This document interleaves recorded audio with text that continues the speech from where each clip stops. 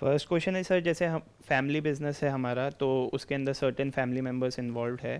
तो मेरा ऐसा मानना है कि मैं आगे जो भी करना चाहता हूँ कि मैं खुद के बेसिस पे करूँ। अगर मैं खुद का कुछ करता हूँ तो उससे मेरे को रिस्क मेरी होगी। जो भी अप्स एंड डाउन्स होंगे, वो मेरे होंगे।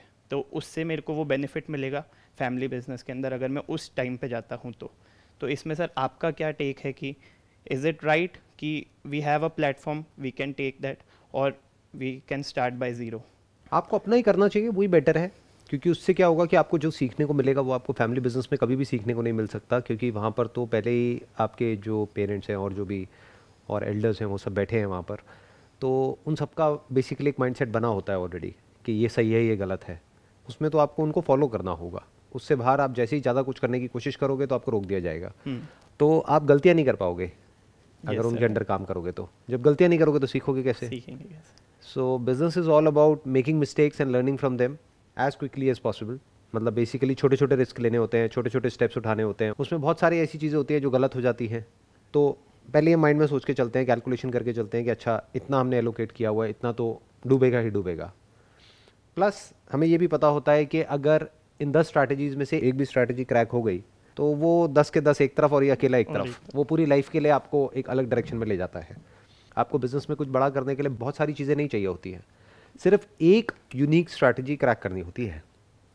अगर वो एक स्ट्रैटेजी आप क्रैक कर सकते हो तो फिर ओवरनाइट सब कुछ चेंज हो जाता है। बट वो ओवरनाइट चेंज होने के लिए कई महीने, कई साल लग जाते हैं।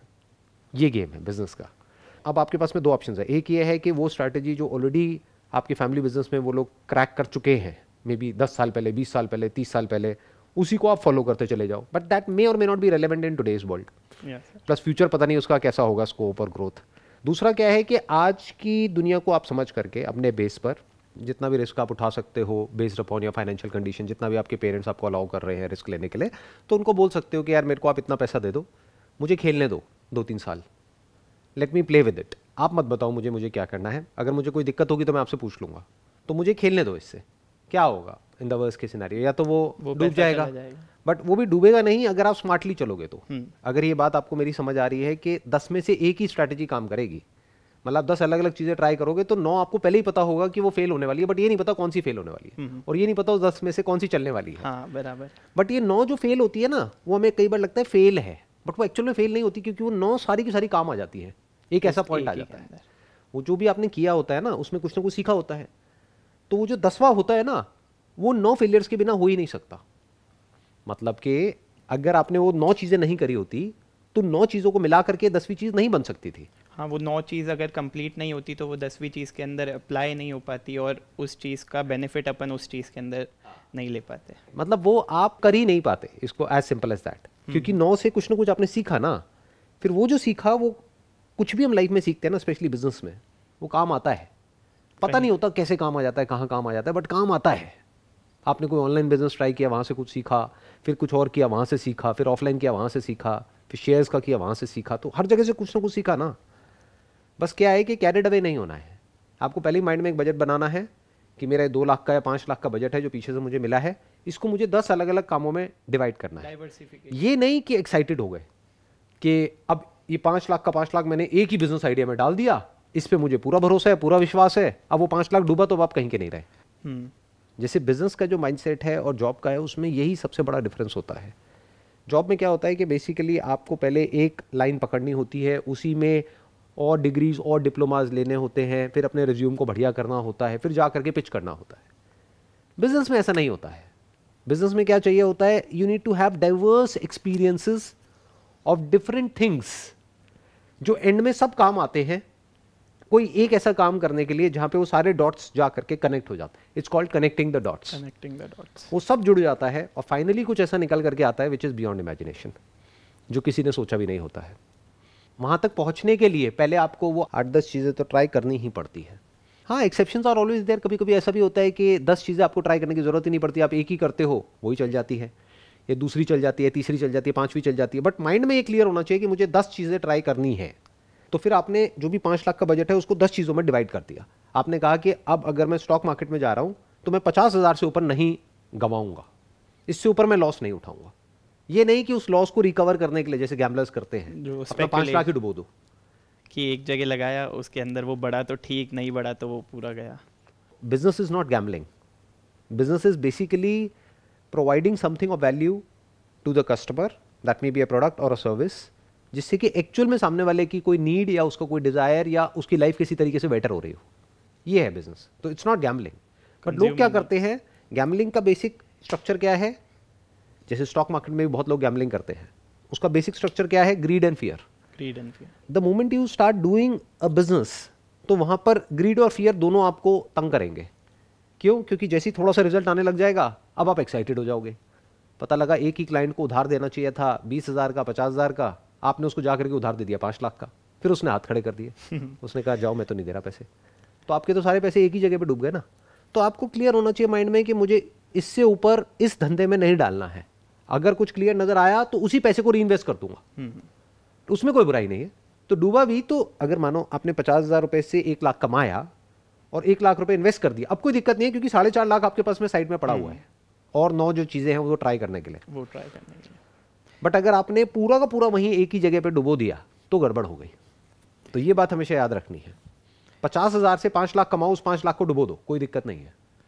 क्योंकि पचास हज़ार से आपने पाँच लाख कमाया ना बट अभी भी साढ़े चार लाख एज इट इज़ पड़ा हुआ है आपके पास। और कुछ ट्राई करने के लिए। उसमें भी पचास हज़ार से ऊपर मत लगाओ। तो ऐसे स्टेप बाय स्टेप चलो तो आपकी सक्सेसफुल होने की पॉसिबिलिटी हंड्रेड परसेंट हो गई। बेसिकली कैपिटल एलोकेट कर दो कि जहाँ पे अपने को लगता है कि इस बिज़नेस के अंदर स्कोप है और आगे ग्रोथ प्रोस्पेक्ट दिख रहा है तो उधर इन्वेस्ट कर दिया थोड़ा। अगर वहाँ पे रिजल्ट्स मिल रहे हैं तो उसी पैसे को वापस री इन्वेस्ट रोटेट कर। दिया। राइट उसी को री इन्वेस्ट करते चले गए करते चले गए करते चले गए वो ग्रो करता चला गया। डूबा भी तो कोई टेंशन नहीं है। अभी डूब भी गया तो आपके पास में डूबेगा जितना अपन ने कमाया है क्योंकि उसके अंदर से भी अपन रोटेट दूसरे बिज़नेस के अंदर अगर अपने को प्रोस्पेक्ट अच्छा लग रहा है तो अपन उसके अंदर भी कैपिटल एलोकेट कर सकते हैं। देखो बेटर स्ट्रैटेजी क्या होगी कि आपने पहले अपना जितना भी पैसा है उसको दस पार्ट में डिवाइड कर दिया। That could be one lakh five lakh ten lakh आपका बिज़नेस बैकग्राउंड है, उन्होंने दस लाख रुपए आपको दे दिया, बोला कि अब इसके साथ में जो करना है करो, तुम्हारी मर्ज़ी। अब एक बिज़नेस शुरू किया, उसमें आपको पहले ही पता है कि एक लाख से ऊपर मुझे लगाना ही नहीं है। तो अगर कोई बिज़नेस आइडिया ऐसा आ रहा है आपके माइंड में, जहाँ पे पहले से आपको पता है कि मेरे को बीस लाख चाहिए, पचास लाख चाहिए, दस लाख चाहिए, उसको छोड़ दो। उसी बिज़नेस को अलग तरीके से करो। क्योंकि बिज़नेस उन लोगों के लिए नहीं है जिनका दिमाग बंद है। ज़्यादातर लोगों का क्या होता है वो अपना बहुत ही रिजिड हो जाते हैं बिज़नेस को लेकर के। वो ये सोचते हैं कि ये जो बिज़नेस है ये इसी तरीके से हो सकता है और कोई तरीका ही नहीं है। अरे नहीं बिज़नेस को करने के लाखों तरीके होते हैं और लाखों बिजनेसेस हैं। आप कर कितने पाओगे? इतनी बड़ी लाइफ तो है नहीं कि आप लाखों ट्राई कर पाओ। करोगे वही गिने चुने आठ दस। तो जब दस ही करने हैं तो अच्छे से चूज़ करो ना पहले दस को जो आपको पता हो कि ये पचास पचास हज़ार रुपये में हो सकते हैं। तो आपने पहले ही बफर लेके चला हुआ है कि पचास साठ हज़ार का ये काम है मेरे पास में लाख रुपए मैंने स्पेयर किया हुआ है इसके लिए बट लाख रुपए से ऊपर मैं इसमें नहीं डुबूँगा तो नहीं डुबूँगा। ये नहीं कि मेरा लाख रुपए डूब गया तो उसको बचाने के चक्कर में मैं दो लाख और डुबो दूँ। फिर तीन लाख को बचाने के चक्कर में मैं बाकी का भी डुबो दूँ और ज़ीरो हो जाऊँ। ये गलती नहीं करनी है। लोग यही गलती कर बैठते हैं। इसको रिस्क मैनेजमेंट बोलते हैं। बिज़नेस में लोगों का दिमाग प्रॉफिट में तो चलता है जैसे मैंने कहा ना ग्रीड और फियर बट रिस्क मैनेजमेंट नाम की चीज़ किसी को नहीं पता because that is not related to greed और फियर आप डर की वजह से रिस्क मैनेज नहीं कर रहे हो। रिस्क मैनेज मतलब प्लानिंग। यानी पता हो कि मेरे पास में कितना है उतना ही मैंने रिस्क लिया तो कोई दिक्कत नहीं है। हाँ बताइए और क्या क्वेश्चन है? Sir how to find right people in the business to build a team like how to trust people easily you should not trust people easily क्योंकि अगर आप ट्रस्ट करोगे तो ट्रस्ट ब्रेक होगा आपका। तो किसी को भी ट्रस्ट करने की ज़रूरत नहीं है। क्या करो बिज़नेस को इस तरीके से सिस्टम्स एंड प्रोसेस में कन्वर्ट करो कि सब कुछ ट्रांसपेरेंट हो। मतलब उसमें कोई लूपोल मत छोड़ो, क्योंकि अगर वो है तो मैनुपलेशन होने के चांसेस हैं। ट्रस्ट का सवाल कब उठता है? जब कुछ गड़बड़ करने के चांसेस हो। अगर आप सिस्टम को ऐसा बना दो कि उसमें गड़बड़ हो ही नहीं सकती तो फिर क्या दिक्कत है? जैसे आप जो भी बिज़नेस कर रहे हो, उसको प्रॉपर बैंक के थ्रू करो ना। कैश भी आएगा तो इससे ऊपर कैश आपके हाथ में नहीं रहेगा, वो सीधा बैंक में जमा हो जाएगा। हम्म। ये जो क्वेश्चन उठ रहा है ना ये पता है कहाँ से उठ रहा है? मैं बताता हूँ क्योंकि इंडिया में प्रॉब्लम क्या है कि बहुत सारे जो लोग हैं वो अभी भी उल्टे सीधे काम करते हैं टैक्स बचाने के लिए। कोई बोलता नहीं है बट ये फैक्ट है और सबको पता है। तो वहाँ पर सारी ये गड़बड़ आ जाती है ट्रस्ट की। क्योंकि आपको ट्रस्ट करना पड़ेगा आप किसी ना किसी पे। उसको कैश दे रहे हो और पता है वो कैश दो नंबर का है। हम्म। पुलिस में भी जाके बोलोगे तो क्या बोलोगे? क्या ही बोलेंगे। कौन सा पैसा लेकर के भाग गया? कहीं उस पैसे की कोई अकाउंटिंग ही नहीं है। राइट तो वहाँ पर ये सारी प्रॉब्लम्स होती हैं। बट अगर आप ये कच्चा लालच ना करो आप ये समझो कि बिज़नेस आप कर क्यों रहे हो? Ultimately you are doing it for peace of mind you are doing it for freedom freedom तो फ्रीडम का मतलब क्या है? कि आपको उसमें इन्वॉल्व ना होना पड़े चौबीस घंटे। अगर आपको होना पड़ रहा है तब तो वो जॉब से भी बदतर हो गया ना। तब तो जॉब तो से भी गया गुजरा हो गया क्योंकि जॉब में तो फिर भी एक वेल डिफाइंड है कि भाई आपको हफ़्ते में इतने दिन इतना काम करना है। बट अगर 24 घंटे आप बिज़नेस में ही लगे हुए हो संडे को भी और छुट्टी के दिन भी और हर तरफ़ यही देख रहे हो कि कहीं कुछ गड़बड़ तो नहीं हो रही है। वो पैसा इतना लेकर के जा रहा है कहीं, ये तो नहीं हो जाएगा, वो तो नहीं हो जाएगा। तो you are not an entrepreneur basically you are kind of self employed जो हर एक चीज़ को माइक्रो मैनेज कर रहे हो।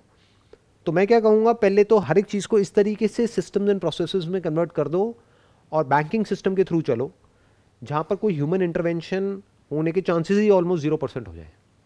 कि कोई अगर चाहे भी तो घपला ना कर सके आपके बिज़नेस में। बिज़नेस को इस तरीके से ऑनलाइन आप चीज़ों को सेट कर सकते हैं कनेक्ट कर सकते हैं। उसमें क्या होगा? आपको टैक्सेस देने पड़ेंगे गवर्नमेंट को। तो दे दो उसमें क्या बुराई है? हाँ अगर अपन कुछ कमा रहे तो उसके अंदर गवर्नमेंट के पास टैक्सेस आ रहे हैं तो उससे ग्रोथ ही हो रही है। राइट और अगर गवर्नमेंट को आप टैक्सेस नहीं दोगे तो ये कंट्री चलेगी कैसे? या कोई भी कंट्री कैसे कैसे चलेगी? चलेगी? अगर टैक्सेस हम नहीं देंगे तो। तो अगर आपका ये माइंडसेट होगा कि मुझे जो भी काम करना है टिपिकली अगर लैंग्वेज में बोला जाए एक नंबर में काम करना है दो नंबर में करना ही नहीं है तो ये क्वेश्चन ही रिडेंडेंट हो जाएगा वहाँ पर। इस क्वेश्चन की नीड ही नहीं है कि ट्रस्ट कैसे करें। क्योंकि जब एक नंबर में है तो ट्रस्ट वो की ज़रूरत ही नहीं है। अब तो बेसिकली क्या है वो बंदा आया उसको बताया कि भाई देखो ये एक प्रोसेस है पूरी जो आपको इसको फॉलो करना है। अगर वो अच्छे से काम कर रहा है तो ठीक है नहीं कर रहा है तो बाहर है। सिंपल है। उसको अगर ठीक लग रही है आपकी कंपनी तो ठीक है। उसको अगर वर्क एटमोसफेयर अच्छा नहीं लग रहा तो वो भी छोड़ के जा सकता है। तो विन विन हो गया ना दोनों तरफ़ से। यस सर अगर इस तरीके से आप चलोगे तो ये प्रॉब्लम्स नहीं आएँगी। तो ट्रस्ट की मेरे को नहीं लगता कि कोई ज़रूरत है। तो sir first question how to find the right people which they fit in the particular job what is the definition of right people आप राइट पीपल किन्हें कहते हो? सर जो कि जो अपन ने काम डिफाइंड करा हुआ है वो एकदम सही से हो जो वो बंदा करे या फिर जो भी वो बंदी करे वैसा। तो अब इसमें कंफ्यूजन क्या है? जो आपने काम डिफाइन किया है अगर उसको अच्छे से करता है तो वो राइट right है? अगर नहीं करता है तो राइट नहीं है। अब प्रॉब्लम पता है कहाँ होती है? मैं बताता हूँ प्रॉब्लम कहाँ होती है। हम क्या चाहते हैं? हमने उसको काम तो ये वाला दिया है। जिस वक्त उस पर्सन ने ज्वाइन किया हमने कहा आपको ये काम करना है। बाद में हम उससे छत्तीस काम और करा रहे हैं। और फिर हम कह रहे हैं कि अच्छे से नहीं कर रहा या अच्छे से नहीं कर रही। तो पहले हमें अपने माइंड में डिफाइन करना है कि हमें उससे एक्सपेक्ट क्या है। उसको क्लियरली कम्युनिकेट करना है। उसको प्रॉपरली एक रिपोर्टिंग सिस्टम में कन्वर्ट करना है कि रिपोर्ट्स जनरेट हो जाएँगी जो भी उसने किया नहीं किया उसका। उसको देखना है हमारे सामने आ जाएगा डेटा कि वो जो उससे एक्सपेक्टेड था, वो काम वो ढंग से कर रहा है, कर रही है, नहीं कर रहा है, नहीं कर रही है।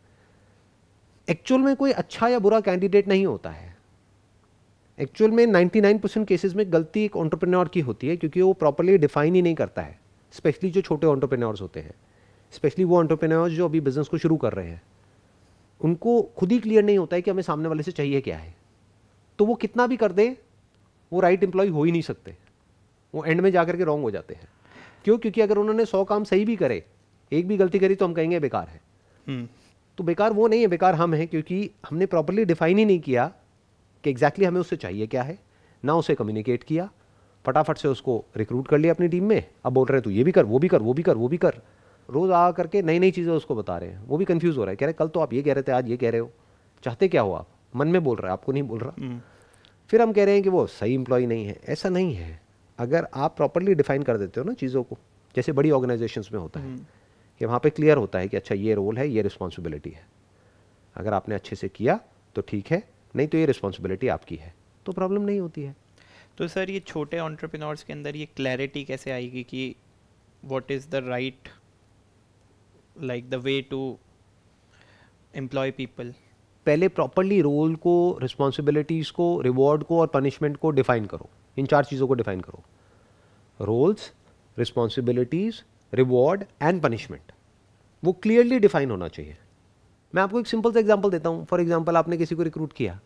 अब आप कह रहे हो कि वो टाइम से नहीं आता, इसलिए वो बुरा एम्प्लॉई है। उसका टाइम है सुबह दस बजे का, लेकिन रोज़ लेट आता है लेट आती है। साढ़े दस बजे, ग्यारह बजे, और रोज़ एक नया बहाना होता है। तो गलती उसकी है, आपकी है, सोचो। गलती किसकी है? दोनों की। नहीं नहीं नहीं नहीं नहीं नहीं। दोनों की नहीं है आपकी है। उसकी कैसे हुई? क्योंकि आपने प्रॉपरली डिफाइन ही नहीं किया कि उसमें पनिशमेंट क्या है। आप ह्यूमन बिहेवियर को ही नहीं समझ पा रहे।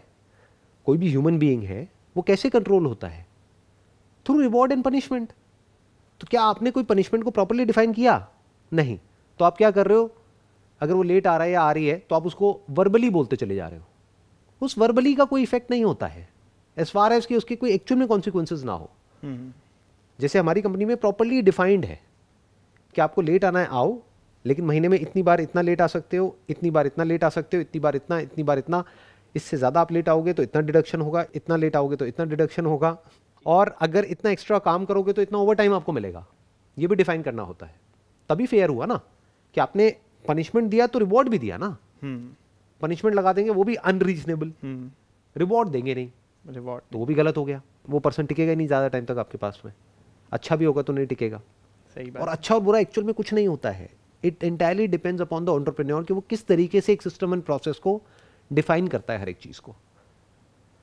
अगर आप प्रॉपरली डिफाइन कर दो कि ओवर टाइम आप करोगे तो इतना पैसा आपको मिलेगा।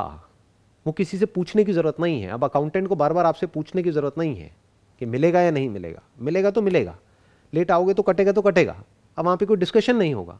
हम्म, म्यूचुअली डिसाइड करके आपने एम्प्लॉयज़ के साथ में बैठ करके एक प्लान बना लिया एक प्रोसेस को डिफाइन कर दिया और बोला किसी को कोई प्रॉब्लम है तो अभी बता दो। तो एक फेयर आपने एक सिस्टम बना दिया जिस पे वो एग्री कर रहे हैं। फिर उसके बाद में उस पर कोई डिस्कशन नहीं होगा। उसके बाद फिर वो जो है वो सबके लिए सेम है। अब हो सकता है उसमें एक्चुअल में किसी एक की कोई जेन्युइन प्रॉब्लम आ जाए बट उसके लिए सिस्टम को चेंज नहीं किया जाएगा। हाँ। सिस्टम पहले है बाद में वो एक इंडिविजुअल है। That has to be understood very very clearly नहीं तो रोज़ ही सिस्टम में चेंजेस होते रहेंगे। हम्म, एक आध को कभी ना कभी नुकसान होगा। मान लो उसका कोई जेन्युइन रीजन भी है जिस वजह से वो लेट आ रहा है तो उसके पैसे कट जाएँगे। बट एक बार ही तो कटा उसको समझाओ कि कोई बात नहीं अगर आपको एक बार कट भी गया तो बहुत बार ऐसा भी तो होता है आपको एक्स्ट्रा पैसा मिलता है। तो इट इज़ फेयर सिंपल है ना? तो इस तरीके से चीज़ों को बैलेंस कर दो। Through reward and punishment and by properly defining the roles and responsibilities कि वो प्रॉब्लम ही ना आए।